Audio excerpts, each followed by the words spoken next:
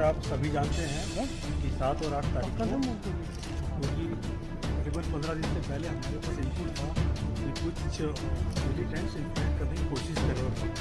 तो हमारी हम बुश कम पेट्रोलिंग पार्टी उस एरिया को रात को पेट्रोल कर रहे थे। तो उस दिन रात को करीबन हमारे एक बजे के आसपास जब पेट्रोलिंग पार्टी जारी थी तो उसमें चार थे सब इंस्पेक्टर और दो के साथ थे ये हमारे कांस्टेबल कांस्टेबल तो जब ये जा रहे थे, उन्होंने रात के अंधेरे में थोड़ा शेडो देखा उन्होंने चैलेंज किया तो चैलेंज करने पे उधर फायरिंग आई और इन्होंने रिटेलिएट किया तो हमारे जो जो कांस्टेबल सुदीप सरकार थे वो सबसे आगे थे। तो वो जो उनके पाँच दस के कदम के दूरी पे एक मिलिटेंट ने उनके उस पर अटैक किया और उसमें इंजर हो गया था इन्होंने बहादुरी से लड़ाई की और वहाँ पे उसी वक्त मिलिटेंट को गिरा दिया। क्योंकि वहाँ गड्ढे वगैरह पे अंधेरा था।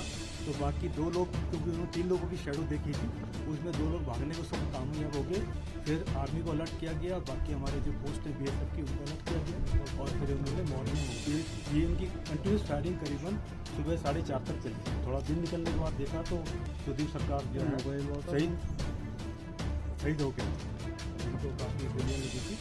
उसके बाद मॉर्निंग में एक ज्वाइंट ऑपरेशन सर्च ऑपरेशन किया और उसके बाद वहाँ पे दो मिलिट्री लोग गिराए और इसमें हमारे आर्मी के कैप्टन जो आप सभी जानते हैं आशुतोष कुमार और दो जवान तो अभी क्या हालात है वहाँ पे? जो ऑपरेशन अभी चल रहा है। अभी कॉल्ड ऑफ़ किया गया कि कुछ चलता रहेगा।